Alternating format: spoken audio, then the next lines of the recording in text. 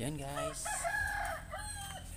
Adjust tayo ng valve clearance ng ating Civic. Gamit ang sukat na kita ba?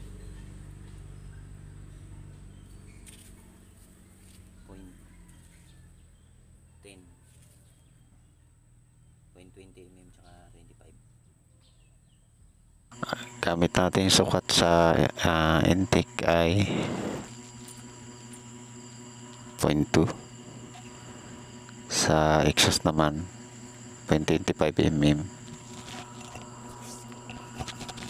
Pan- 0.20 sa intake. Na-adjust natin yung exhaust valve.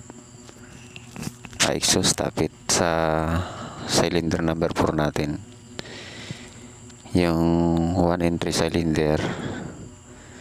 Hindi ko na nakuha ng video.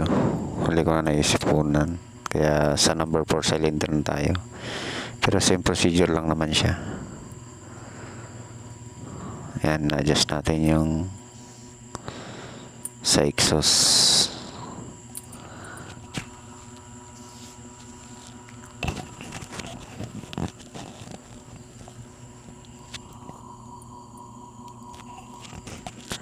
Pagtapos natin adjust dyan, doon naman tayo sa intake.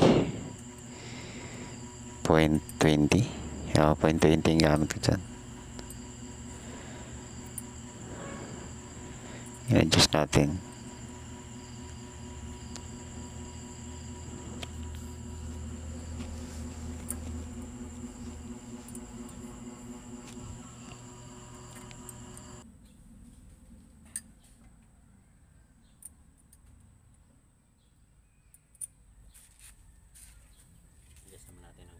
Number 4.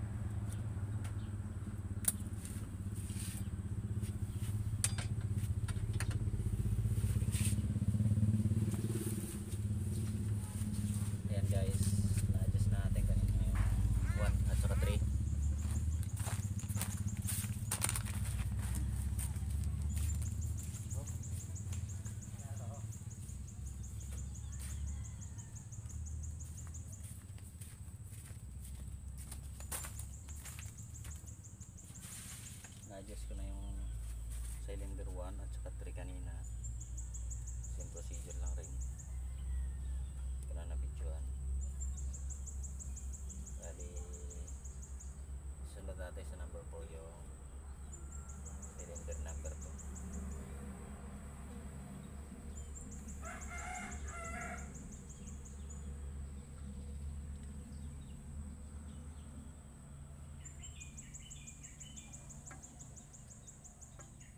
Ikutin na natin yung pulid.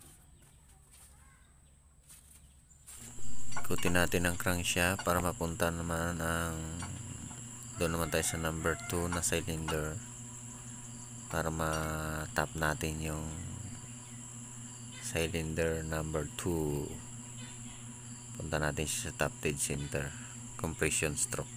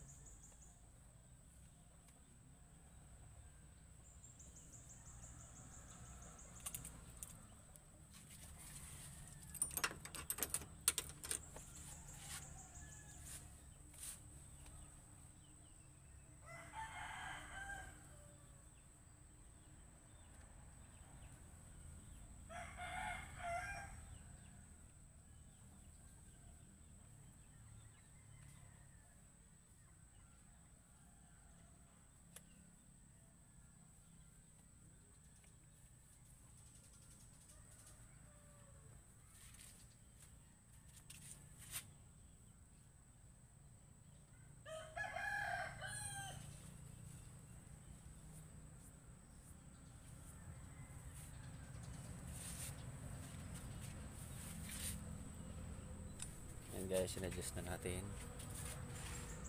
Bagong palit din natin ng timing belt. Tsaka